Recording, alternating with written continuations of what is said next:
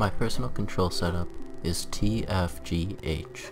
The reason I use TFGH over WSAD arrow keys or ESDF is for many reasons.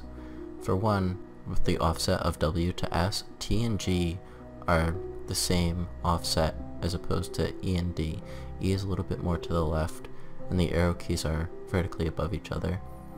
So, WSAD is the ergonomic way, TFGH is the same offset. In addition to having TFGH, you have a lot more keys to the left and the right as opposed to ESDF, you only get about 4 to the left, and then you have these keys here. But if you're on TFGH, you have a lot more keys on the left and the right side. Another bonus is that when you have ESDF, your thumb will be about here.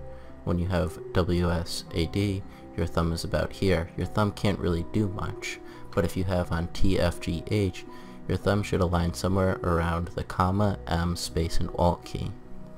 What this does is it allows your thumb to access all of the keys within this area, and then your pinky, when it's on WASD, would rest on the shift, but on TFGH, it can rest on the X key. When you have keys all in this way, you can access a lot more keys. My key controls in Counter-Strike Go are set as this.